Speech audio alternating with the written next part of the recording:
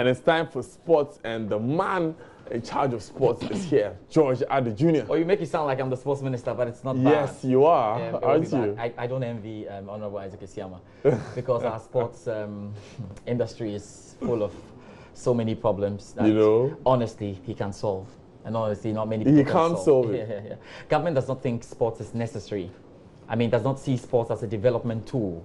Mm. I'm being very harsh this morning, but that's the truth because if it's realized that it was a tool, we will see government putting up a lot more stadia. We'll see government very active in uh, pushing the other sports. All of that is not possible. We don't have infrastructure. Our clubs are left on their own, and we are where it is. So we can complain about the Ghana Football Association and all the others, but the key thing is government has not shown they're interested. You sound like you're diving into you're diving into the first story. No, not really. Just uh, Just a rant. yeah, well, you know you came. they, they, they make us feel like they love the Black Stars, but they're using the Black Stars as a political tool, and that's true. So we know there's no World Cup, and you can see now the coach is not being paid and all of those issues. So that's that's government stance really on sports, and why I would not want to be the sports minister. But we have a lovely weekend to look forward to, and then those we like to learn from the English Premier League, they have um, shown the way. We've we've been going there to want to learn from them, but until we do the right things, we can't be like them. So we are looking forward to the Manchester United Manchester City game down here in Accra, so far away from the English Premier League. But there's nothing really here to cling on to. So you must look forward to the Manchester United Man City game, which has no Ghanaian even in that going to be lined up. Amazing stuff. But that's the game of the weekend, the game that could likely decide who wins the English Premier League. The other games to look forward to. I bet um, Liverpool playing Everton is another one. That's the Merseyside derby. Will take place on Sunday. Chelsea will play West Ham, and that's away. That's a, a little London derby of its sort, taking place um, at 11. That's going to be the first game uh, on Saturday. We have Tottenham Hotspur against Stoke City, uh, Man, what we? Liverpool, Newcastle up against Leicester. Swansea, West Brom. We can quickly look at the Spanish Liga fixtures that's available as well, and uh, it's a tough game. I, I need I had to ask you about the Merseyside derby.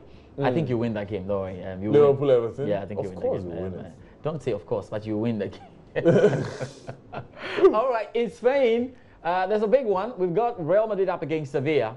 And Cristiano Ronaldo, after being crowned the Ballon d'Or winner, he's won that for the mm-hmm. fifth time. And you can go on with your argument about who is the better player, Cristiano Ronaldo or Lionel Messi. It's five on five now, and that argument will cease, will not cease. Mm. I say, let's love these players the way we will. Let's mm. enjoy watching the two of them. They've created something special for us.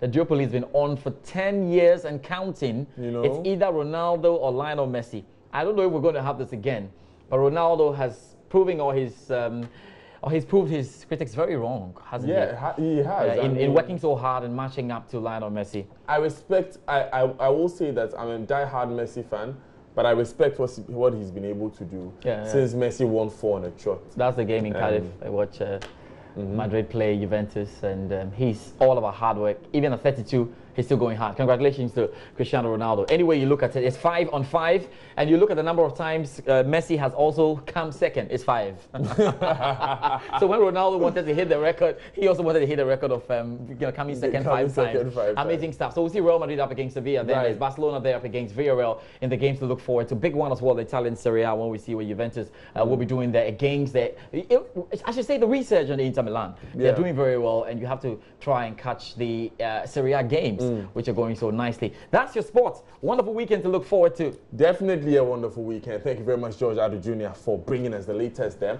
And this is where we end today's Blessing of News Desk. I am Daniel Dadzie. See you at midday.